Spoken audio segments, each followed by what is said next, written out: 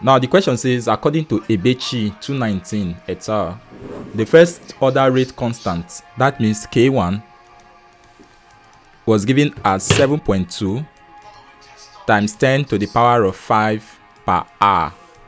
The solubility of cyclosanzilline is 1.1 gram per 100 milliliter. So we can say the concentration. Are you getting it now? The concentration in solution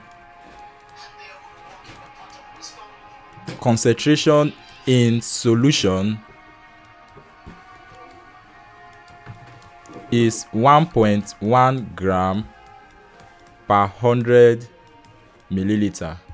If it is required of you to prepare an extra extemporaneous suspension of drug containing 125 milligram per 5 mil or 2.5 gram per 100 mil, calculate the shelf life. Okay, I believe the first one is calculate the zero order rate constant. So let's um let's go to a fresh page and write everything again. So our k1 7.2 times 10 to the power of minus 5 per hour. Then concentration in solution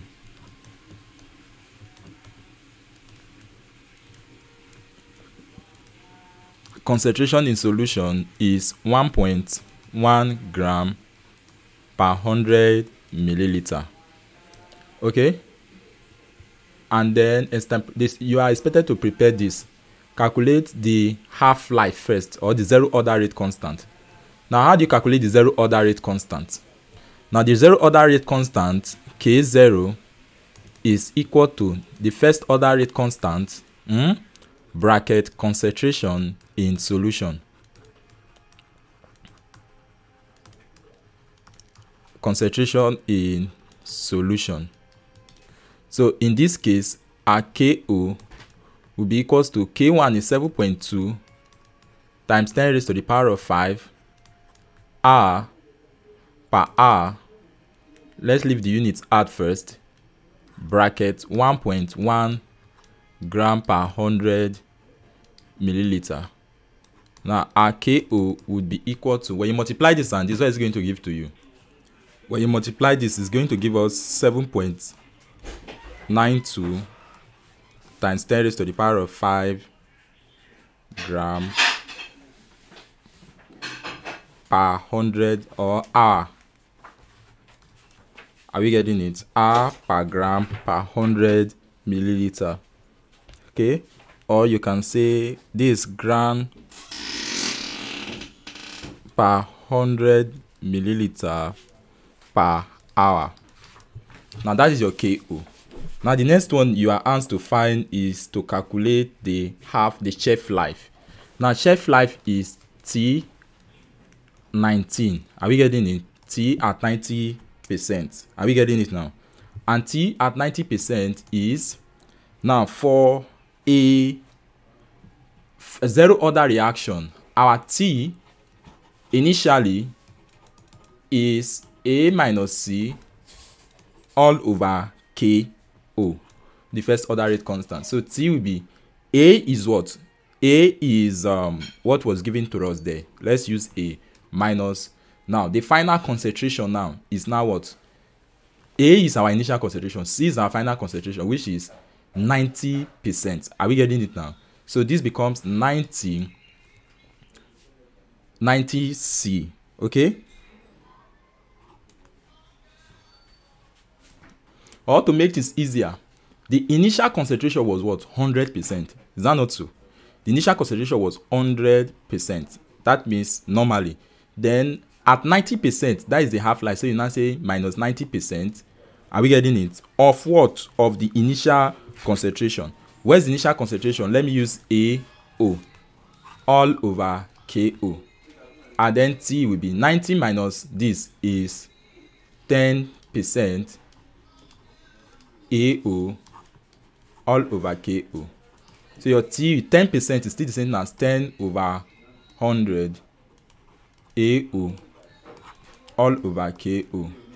So T is 10 divided by 100 is 0.10. Okay? AO all over ko now at the end of the day what are you expected to have? So our t is 0.10 ao all over ko at 90 so this is everything you just need to memorize. You don't need to memorize every other thing i've done before now okay? So t90 will be 0.10 times what was the initial concentration given in the question the initial concentration he said if it is required of you to prepare an extemporaneous solution of a drug containing so the initial concentration of the drug is this. Okay 2.5 gram per 100 milliliter. So you say this is 2.5 gram per 100 milliliter. Where's your ko ko as calculated was what? 7.92 times 10 raised to the power of minus 5 so you now say this is 7.92 times 10 to the power of minus 5 then this is gram per 100 milliliter per hour. Now gram per 100 milliliter cancels gram per 100 milliliter. So t90 will be equals to if you do this your calculator what is it going to give to you? So this will be equals to 3156.56 hour. And this is the um the shelf life. Now if you want to convert this to days what do you do? From hours to days you divide both sides by 24 hours right? Divide this by 24 to days. So if you divide by 24 it gives us 131.52 days. To months divided by there are 30 days in a month so this gives us divided by 30 and this will be 4.38 months. So the shelf life is 4.38 months. It means after 4.38 months the something should be discarded okay? That is that for this question. Now the next one is um if the drug is formulated in solution rather than in suspension at this pH and what is the expiration time assuming that the product is satisfactory until the time at which it has decomposed to 80% of its original concentration at 25 degrees Celsius. Now, in this case, if it is in um, if it's in solution, it means that it will follow the normal first order reaction. And what is T for first order reaction? T is what? Is um 2.303 all over K log CO divided by C. Is that not so? So now, in this regard now, what is our C? You say until, assuming that it is satisfactory until it has reached 180% of its original concentration. Are we getting it now? So we can say T will be 2.303 divided by K times log. Now, assuming CO is 100%, are we getting it? Assuming CO as 100%, so this will be CO divided by, now, it should reach 80% of its original concentration. So this one will be what? 80% of CO. Are you getting it now? 80% of CO. So at the end of the day, what do you think you are going to have? 80% of CO is 80 over 100 times what? CO, right? Which will now be, when this one cancels this, it gives us 0.8 of CO. So our T will be 2.303 divided by K log CO all over 0.8 CO, right? Now, at this point in time, CO can cancel CO, so you are left with 1 here. And then your T will be 2.303 divided by K log 1 all over 0.8. Punch your calculator for me. What would that give to you? Log 1 all over 0.8. 1 divided by 0.8. 1.25, right? 1.25. So log 1.25 0.09. So T will be 2.303 all over K times 0.0969.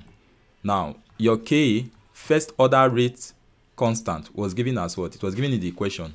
the first order rate constant is 7.2 times 10 to the power of minus 5 um, hour per hour 7.2 times 10 to the power of minus 5 per hour so this becomes 2 3 then 7.2 times 10 to the power of minus 5 per hour times 0.0969 now at the end of the day what are you going to have going to have 2.303 if you multiply everything on top it's going to give you t as 0.223 divided by 7.2 times 10 to the power of minus 5 and then t will be equals to when you divide that it's going to give us 0.223 divided by 7.2 times 10 raised to the power of minus 5